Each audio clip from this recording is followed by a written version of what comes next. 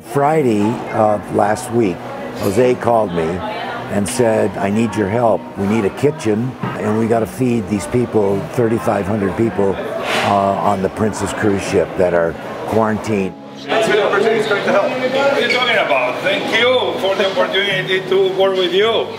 We had people from all over the San Francisco Bay Area, not only the Bon Appetit chefs and uh, volunteers and our managers, but a number of other people in the community that also helped us. Food is love.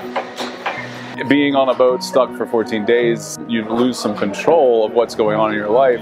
You know, again, that's a stressful situation. So alleviating the stress of the people on the boat, we're still cooking the same meals. We're still making the amazing food. The people, in the end, are the most important part. Coronavirus is going to be hitting hard and we're going to have to adapt and open kitchens to be able to provide meals to those people that will need a plate of food. So World Central Kitchen is going to be activating in the next two or three days a protocol to partner. Uh, World Central Kitchen, we cannot be everywhere, but yes, we believe we can be helping coordinate all the people, private sector, other NGOs that will be, I know, already feeding uh, communities.